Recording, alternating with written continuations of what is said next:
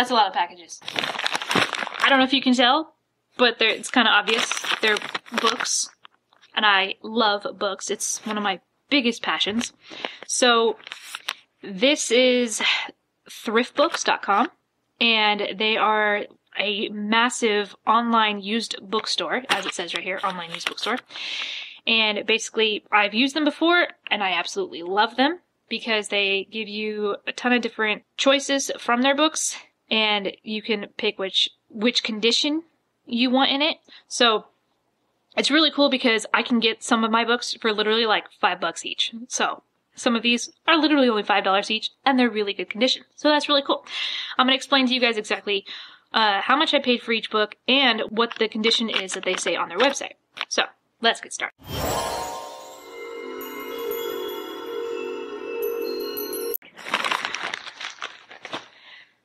This one's going to be last because this is a special one for one of my collections. So let's start with this one.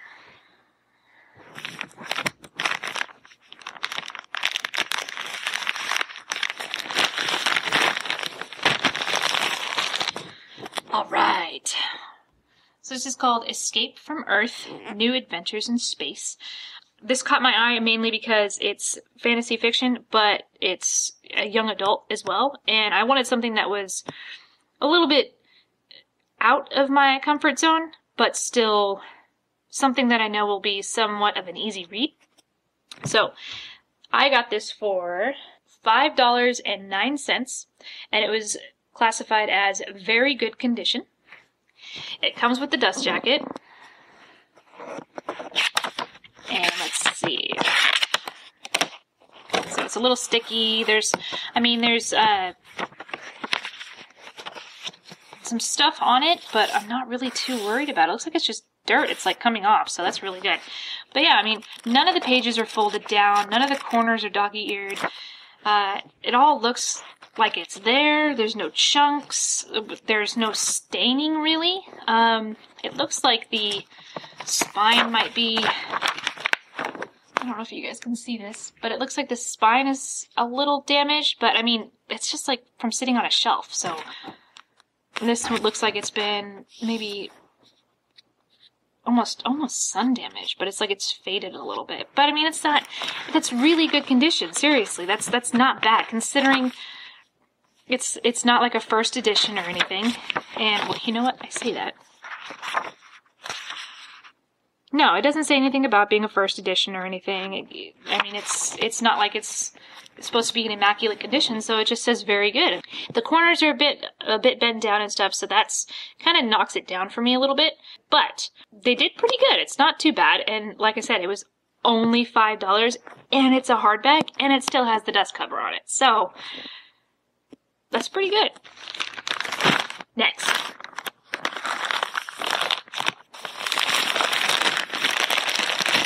Alright, so we have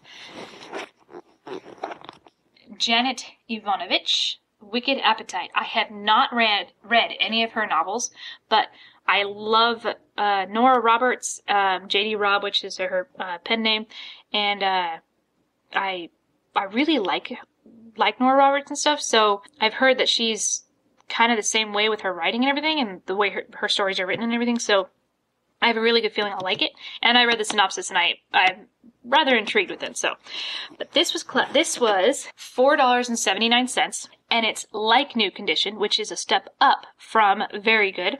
So I believe it goes acceptable, good, very good, like new, and then obviously new if it's never been used before. It was it was obtained from a shop somewhere. So I think I, be- I believe it's classified under those five. So this is like new, and let's let's see. That's part of the printing. These stickers actually come off really easily, so I'm not worried about that. Is that no? Okay. Oh, it's it's uh 3D rare. That's really cool. I like that. There's the other. So yeah, it, it looks like it's actually really well done. The corners aren't too badly bent in. So that's good. It, doesn't have that rubbed effect from sitting on a shelf for too long. It's bent just a little bit down here, but like I said, that's nothing. So this is this is really good. Like I said, it's got the dust jack and everything, so it works really well. Pretty sure it's not a first edition. I'm not really worried about that when I buy these. Oh, wow, it is a first edition. But again, I don't know. I don't know much about her books. I don't know if she's extremely popular. I just know she had a lot of her books on there. And like I said, I like the synopsis of the book, so. But yes, this is indeed a first edition, September 2010. So I don't know if that means anything. It, it might not be that popular of a book, but I don't know. All I know is I want to read it, and that's what matters. So, that one. Then we have this Charles Dickens' Bleak House. I read the synopsis, and I'm not big on reading classics because I was forced to read them in school, and honestly, it kind of deterred me from reading at first until I started reading reading a lot of my fantasy fiction away from school and realized that I loved them. So, as far as classics go, I usually don't read a lot of the classic authors and stuff, but I read the synopsis and it sounds very good and I'm willing to give it a try. So, if you guys have read any of these books that I show you, please do not hesitate to comment in the comments below and let me know what you thought of them, whether you liked it or not. But this was this is not this. Okay, so I was gonna say I don't remember getting this one. I do remember Charles Dickens, but I don't remember Bleak House. So, so I was like, as soon as I was saying it, I was like, I don't remember ordering that. They do get their orders wrong every now and then, and it's it's gonna happen. Let me open up the last one before we continue with this because I still have two more books, and I can't remember which one that's supposed to be. So we're gonna put that aside, and we're gonna move on.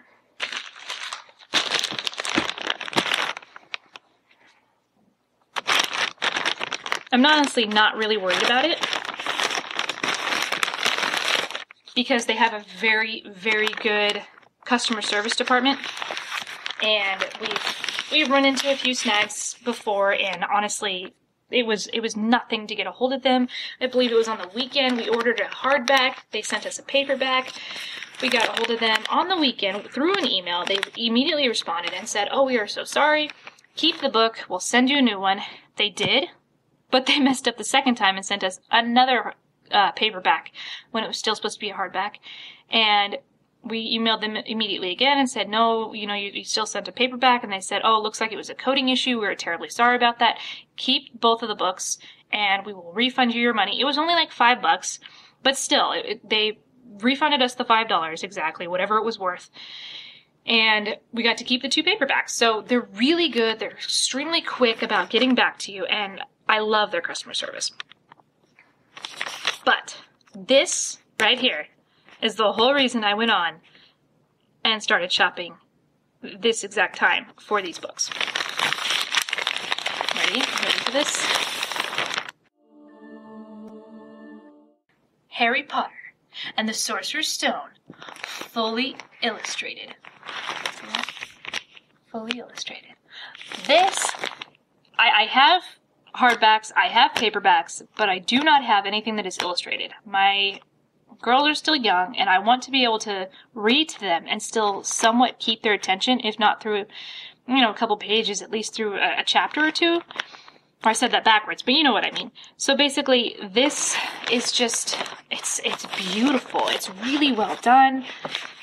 And if you haven't seen these before, I highly suggest you, you, uh, look at them because if they don't have any actual picture on the page itself, the pages actually look like they're old parchment paper and that you can see like the spotting from like parchment paper and everything. So it's it's really really well done. I mean, look at this. This is amazing. I don't know how well you guys can see this, but if you have not seen these before, you need to check them out because I believe they have the entire line, if not at least the first three books, done where they are fully illustrated and they're so beautiful. And I cannot wait to read these to my girls and let them experience basically what I have been able to experience. So I can't wait. This was the whole reason I went onto this website that specific time. But this book right here is, I believe it's a little over $30 with tax online through Amazon.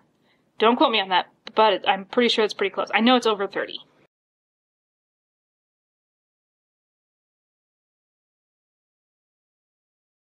This one on Thrift Books is in like new condition. That's what they listed it as. And I got this for $16.49. That's half off. That's amazing. And look at look at how beautiful condition this is. There's no rubbing or scarring along the spine. The uh, the dust jacket is still on it. The corners aren't folded down too terribly. I mean, they're a little up here on the top, but it's it's beautiful. It even still has. see if I can get it. This right here, the ribbon.